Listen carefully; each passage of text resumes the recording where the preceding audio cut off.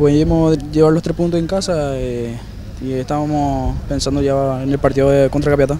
Qué gran partido, pero ¿qué le faltó al equipo a su modo de ver? ¿Por qué no se ganó?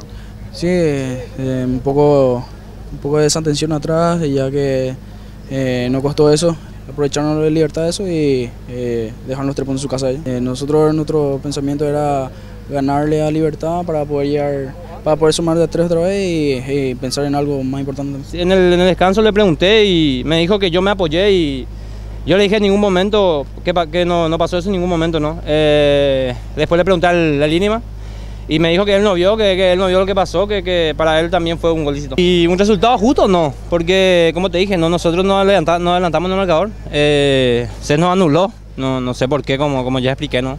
No soy el dueño, la verdad, como le dije a un colega tuyo, pero creo que, fue un gol lícito y que iba a ser otra la, historia si, se convalidaba ese gol. Y nosotros eh, no, nos íbamos primer en el descanso eh, con, el 1 a 0, creo que iba a cambiar mucho, ¿no?